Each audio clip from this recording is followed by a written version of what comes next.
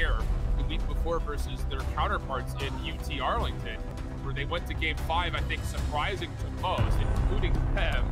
Really do. I love what I'm seeing from UTA with this aggressive mindset inside.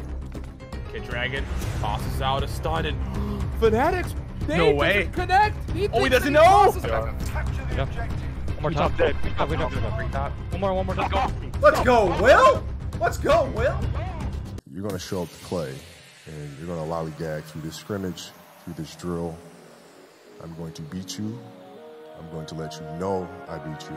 I'm going to want you to reconsider. Read that play correctly behind Craig, and that's going to be a very fast, aggressive push that works out for UTA. I love it. I really do. I love what I'm seeing from you. Try and hold on to this, but Omega is tearing them apart. Play by play, kill by kill. Omega will find a 5-3 now, and you need...